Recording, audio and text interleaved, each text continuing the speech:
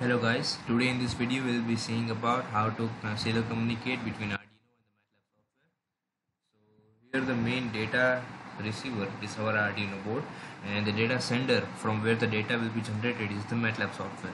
So now let's take a look upon the Arduino code. Here the output pin is defined as 13th number and the baud rate is set to 9600 here the serial available is checking the loop that if any serial data is available on the serial COM port is or not. So here simply I have kept like 100 and 101. If there is a 100 on the serial port then LED, will glow and if there's 101 then LED will not glow. I mean that's low. So copy this code. I am keeping the video for 2 seconds so that you can pause and get the code. Else then I am keeping the code in the description. You can copy from below the video. Now let's take a look on the MATLAB video.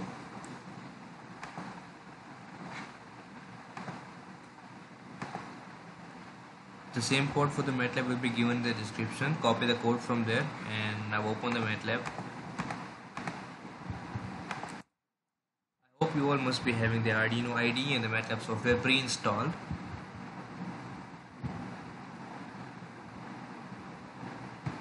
So now in the command window, paste the code and don't forget whenever you are connecting your Arduino board to a laptop remind me you that there are multiple USB ports on the Arduino board on your laptop so that you need to see the COM port for in which your Arduino is connected. So mine one is COM3 so edit the code.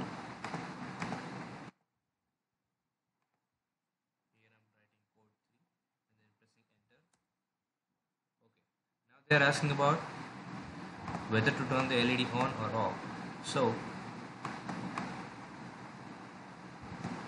write down 100 to turn on the LED and 101 to turn off the LED. So now let's like make you see the output.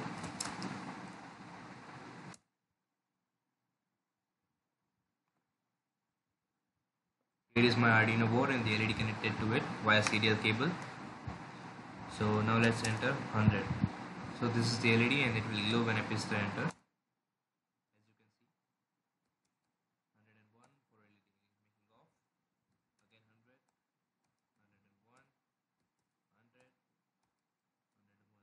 Will not change if you enter the same data the same. So now MATLAB will ask me 10 times for such demo.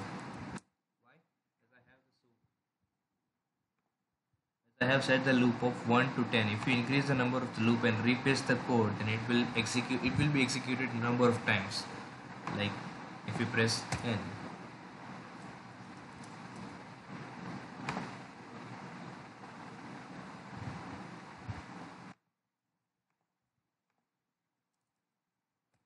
Now the code will be executed n number of times where you need to define the number of n from the starting one.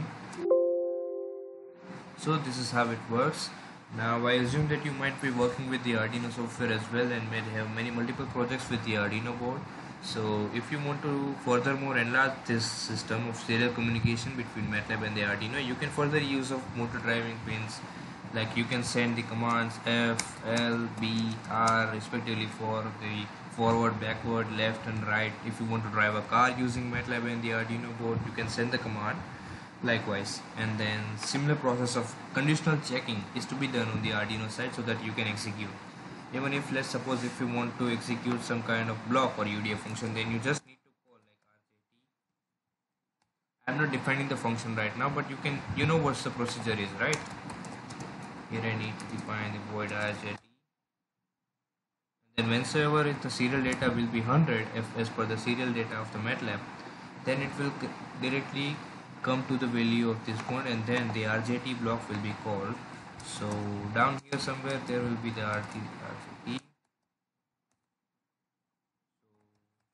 I want to drive another motor or I want I have interface. Let's suppose that I might have interface relay on the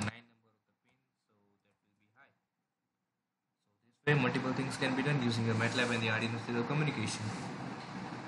I hope you enjoy the video. If you find difficulty in uploading or code or finding any difficulty retrieving the hardware then please contact